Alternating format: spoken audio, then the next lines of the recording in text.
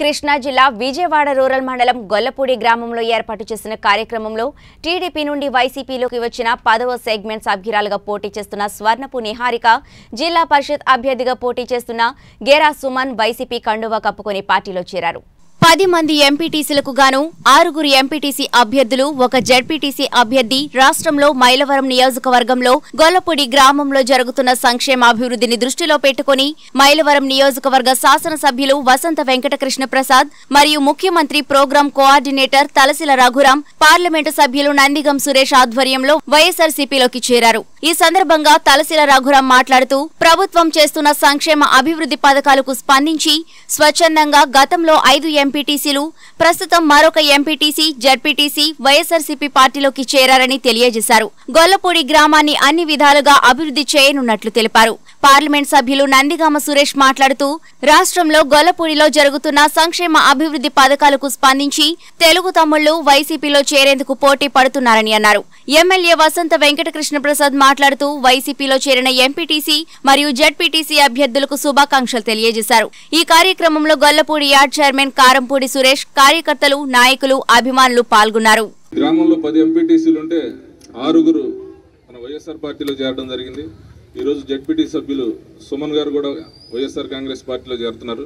ఆయన ఒక రెండు నిమిషాలు మాట్లాడతారు.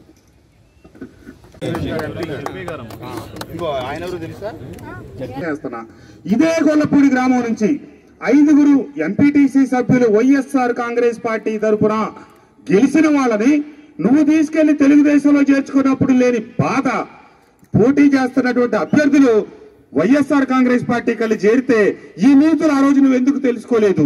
నువ్వెందుకు చెప్పలేదు దేవుని ఉమామేశ్వరరావు అంటే నువ్వు చేస్తే సంసారం ఎదటోళ్ళు చేస్తే వ్యభిచారం. కాబట్టి నీ ద్వంద్వ వైఖరి నీ మూస వైఖరి నీ పద్ధతులు గిట్టక నచ్చక ఈ రోజు నీ నియోజకవర్గంలో ఉన్నటువంటి నీ కేడర్ అంతా రోజు రోజుకి జారిపోతా ఉన్నారు దేవుని ఉమామేశ్వరరావు ఇది అంతం కాదు ఇది ఆరంభం. మేము నిర్దిష్టమైన మాకు అవకాశం వచ్చింది నాకు రఘురామ్ గారికి. ఈ గొల్లపూడి కావచ్చు ఈ ఇబ్రహీంపట్నం లేకపోతే విజయవాడ రోడ్ల మండలం కావచ్చు ఈ మైలవరం నియోజకవర్గం కావచ్చు ఖచ్చితంగా మాదైన ప- మార్కు చూపిస్తాం. ఎందుకంటే అన్నిటికీ కొలమాలాలు ఉన్నాయి. నువ్వు దత్తత తీసుకున్నా అన్న గొల్లపూడికి నీ దత్తత గ్రామానికి. నువ్వు ఐదు సంవత్సరాల్లో ఎంత డబ్బులు వినియోగించి గ్రామాన్ని అభివృద్ధి చేసావు మేము ఎంత డబ్బు పెట్టి చేయబోతా ఉన్నాం. రఘురామ్ గారు ఒక పక్క ముఖ్యమంత్రి గారి కార్యక్రమాలు ఎన్నో కార్యక్రమాల్లో బిజీగా ఉన్నా సరే నా నియోజకవర్గం నా గొల్లపూడి అంటే ఆయనకు వెంటనే లేచి కూర్చుంటా ఉన్నారు. ఏ రూపాయి దొరుకుతుంది? తీసుకొచ్చి అభివృద్ధి చేద్దాం. ఏ సంక్షేమ పథకం వస్తుంది? ఇక్కడ ఉన్న పేదలకు అర్థం చేద్దాం. పార్టీని బలోపేతం చేసుకుందాం. మా లక్ష్యం అదే. అభివృద్ధి బలోపేతం. మేము ఎక్కడ భయాలు